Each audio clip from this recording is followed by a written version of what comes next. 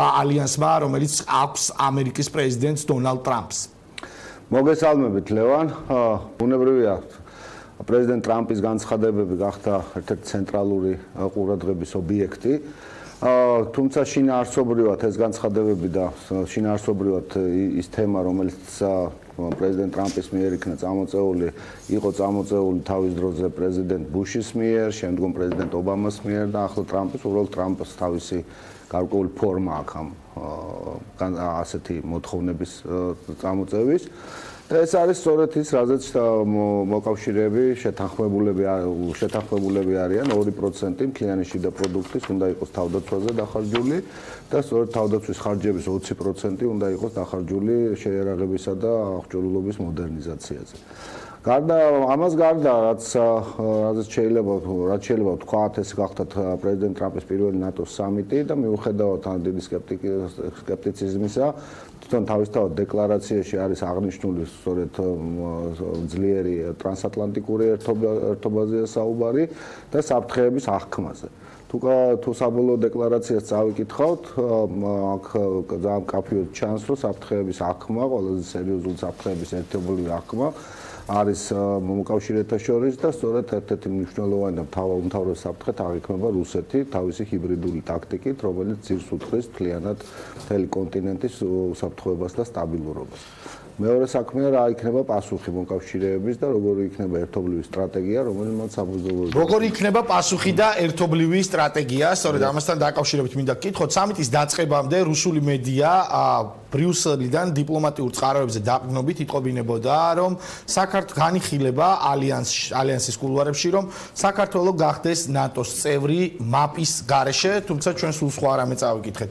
მიღებულ დეკლარაციაში სამოქმედო გეგმის მაპის გავლით უნდა გახდეს საქართველოს ალიანსის წევრი და კარგი დადებითად არის შეფასებული ის რეფორმები და ის პროგრამები, რომლებიც ხორციელდება, მხარდაჭერა არის გამოთქმული საქართველოს მიმართ, თუმცა არის თუ არა ეს საკმარისი იმ იმისთვის, რომ საქართველოს უსაფრთხოება იყოს უზრუნველყოფილი. პირიქით ხო არ მოახდენს უარყოფით და ნეგატიურ გავლენას და ამ შემთხვევაში რუსეთის მხრიდან აგრესიის რისკებს და საფრთხეებს ხომ არ გაზრდის ამის მაგალითი ალიანს და საქართველოს აქვს უკვე 2008 წელს მიღებული გადაწყვეტილება. აა რუსეთის აგრესია ყოველთვის მომდინარეობს მაშინ, როდესაც მოკავშირეებს შორის არ არის ერთიანობა და გამბედაობა. და მისი აგრესია ყოველთვის ნაკლებად სავარაუდოა, მაშინ როცა მოკავშირეები არიან გაერთიანებულები და ისინი მზად არიან რომ პასუხი გასცენ. მე ვფიქრობ, რომ ამ შემთხვევაში სწორედ აი ესეთი სტრატეგიის ფორმირება, როგორც შეაკავონ რუსეთი მიმდინარეობს და შესაბამისად, რა თქმა უნდა, რუსეთი იყენებს ჰიბრიდული ომის სხვადასხვა ფორმას, მათ შორის პირდაპირ სამხედრო ძალის გამოყენებას და სამხედრო ძალით მუქარას. საქართველოსსა და უკრაინაში მას აქვს ოკუპირებული ტერიტორიები, უკრაინაში მეტი ტერიტორიის ანექსიაც მოახდინა. ბუნებრივია აბსოლუტურ გარანტიებს იძლევა მხოლოდ მეხუთე მუხლი, ესეც ხისტი ძალის მიმართულებით. და მე ვფიქრობ, რომ აქ ასე ვთქვათ, სერიოზული სტრატეგიული პოლიტიკური გარღვევა არ აგვაქვს დღეს საქართველოს ნატოში წევრობასთან დაკავშირებით. რაც შეეხება გაწევრიანების სამოქმედო გეგმა როგორც აუცილებელი კომპონენტი, ამაზე საუბარი არის ყველა ნატოს კომუნიკეში და განცხადებაში დაწყებული 2008 წლიდან. მე პრინციპში რთულად წარმომიდგენია, რომ ეს გაწევრიან საქართველოს გაწევრიანება მოხდეს გაწევრიანების სამოქმედო გეგმის გარეშე, როგორც ზოგიერთი კვლევარი ამბობს. მე ვფიქრობ, რომ აქ ეს არის უკვე პოლიტიკური გადაწყვეტილება მისაღები გაწევრიანების სამოქმედო გეგმასთან დაკავშირებით და თუ ასეთი პოლიტიკური გადაწყვეტილება მთლიანად საქართველოს წევრობაზე მომწიფდება გადაწყვეტილება, ეხლა ტექნიკურად როგორ იქნება ეს შესრულებული, ამას ფუნდამენტური მნიშვნელობა არ აქვს. თუმცა მე მგონია, რომ ტექნიკურად მაინც შესრულებული იქნება გაწევრიანების სამოქმედო გეგმის გავლით. თუმცა ეს ხომ არ მოახდენს ქვეყანაში, ვთქვათ, პრორუსული ძალების გაძლიერებას, რადგან ჩვენ სახელმწიფო უსაფრთხოების სამსახურის მიერ გამოქვეყნებულ ანგარიში კითხულობდით პირდაპირ, რომ არიან ქვეყანაში ძალები, რომლებიც ცდილობენ დასავლური ღირებულებების ნეგატიურ კონტექსტში წარმოჩინებას და მათთვის ხომ არ იქნება ეს ხელსაყრელი ნიადაგი, რომ საქართველოს ვერ იღებს ნატოსგან იმას, რასაც ელოდება და ეს არის შორეული პერსპექტივა და მათ გაძლიერებას ხომ არ გამოიწვევს და ხელისუფლება ხელისუფლებას შეეძლო თუ არა რომ უფრო მეტი წამოეღო ბრიუსელის ამ სამიტიდან თუ იქნებოდა რაღაც უფრო მეტი მუშაობა ალიანსის წევრ სახელმწიფოებთან. პირველ ნაწილში მე ვიტყოდი რომ სწორედ ის ფაქტი რომ რუსეთი გააქტიურებულია ჰიბრიდული ომის ყველა კომპონენტი საქართველოში ეს არის ფაქტი და ამის ამაზე მე მგონი ორი აზრი არ არსებობს.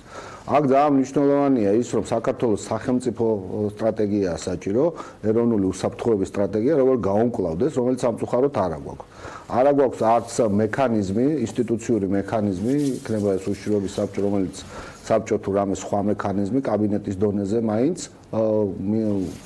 პოლიტიკურ დონეზე, რომელიც ამ საქმით იქნება დაკავებული. საქართველოს თავრობას არ აქვს არც ინსტიტუციური და არც სამართლებრივი მექანიზმი, რათა შეიმუშაოს, განახორციელოს და მეთვალყურეობა გაუწიოს, კოორდინირება გაუწიოს ეროვნული უსაფრთხოების პოლიტიკის შექმნასა და განხორციელებას. სამწუხაროდ აი ესეთ ვითარებაში ვარ და უნებრივია თავარი ყველაზე მეტად რაც რაც ხელს უწყობს რუსულ ჰიბრიდულ საფრთხეს საფრთხეს და რუსულ ჰიბრიდულ ძალას, რომელიც საქართველოს მოქმედებს, ის არის რომ ჩვენ არ აქვს სტრუქტურირებული სტრატეგიული ხედვა, როგორ გაუმკლავდეთ ამას რომ აქ მარტო სამხედრო კომპონენტზე არ გახლავთ საუბარი, აქ გახლავთ კიდევ საუბარი არის ეკონომიკური, ფინანსური, პროპაგანდისტული და ასე შემდეგ და ასე შემდეგ.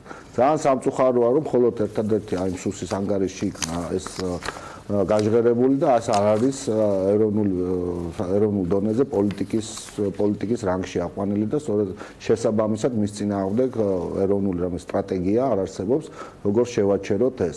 და სწორედ ამ ეს არის ყველა სახიფათო ამ ჰიბრიდული ძალის და ამ ჰიბრიდული ომის რომელიც რუსეთი საქართველოს წინააღმდეგ აწარმოებს თავარი ამოცანა არის საქართველოს მთლიანად სახელმწიფოებრიობას გამოუთხაროს ძირი და მთლიანად საქართველოს როგორც სახელმწიფო შეუმდგარ სახელმწიფოდ აქციოს ამიტომ არის სწორედ მობილიზებული ყველა ის რესურსი, რომელიც ჩვენ წინააღმდეგ გამოიყენება. თუმცა ეს არ არის მხოლოდ საქართველოს წინააღმდეგ, ეს გამოიყენება უკრაინის წინააღმდეგ, გამოიყენება მთლიანად ევროპის და აგერ ამერიკაშიც უზარმაზარი სკანდალები აქვს შე შემთხვევაში რუსეთის ჩარევა. რაც შეეხება უფრო მეტის მიღებას ბატონო. რაც შეეხება უფრო მეტის მიღებას, მე ვფიქრობ, რომ ის ძალისხმევა, რომელიც რომელიც მთლიანად სამთავრობო დონეზე იქნა განხორციელებული სამიტამდე, ეს აბსოლუტურად არ არის საკმარისი. ეს საქართველოს არ აქვს იმის ფუფუნება, რომ რაღაც ესე ვთქვათ, შემოიფარგლოს რაღაც თავაზიანი შვიდი განცხადებები, მხოლოდ აქ ძალიან მნიშვნელოვანია, რომ აქ იყოს კარგად დაგეგმილი სტრატეგია, რომელიც განხორციელდება სამიტიდან სამიტამდე მთლიან პერიოდში და არა თქვათ სამიტის წინ რაღაც ერთი თვით ადრე შეფუცხუნება და თქვა ამ ხრი აქტიურობის გაძლიერება. აქ ეს აქ არ არის მხოლოდ საუბარი დიპლომატიურ უწყებაზე, ეს ბევრად უფრო მნიშვნელოვანი სტრატეგია უნდა იყოს და ეს უნდა იყოს სამთავრობო სტრატეგია, რომელშიც ჩართულია ყველა კომპონენტი. სამწუხაროდ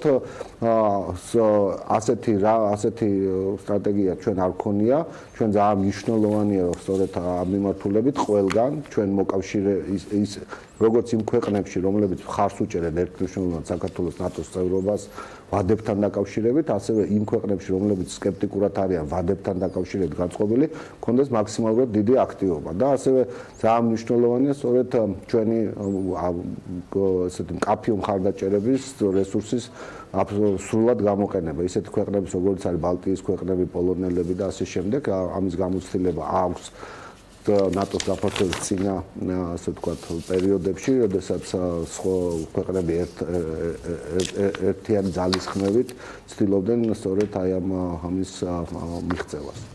მადლობა საქართველოს ატლანტიკური საბჭოს პრეზიდენტი დავით სიხარულიძე იყო დღის ამბების სტუმარი და ცოტა ხნის წინ ცნობილი გახდა ამერიკის პრეზიდენტის დონალდ ტრამპის განცხადება, რომელიც მან ბრიუსელში გააკეთა ნატოს ყველა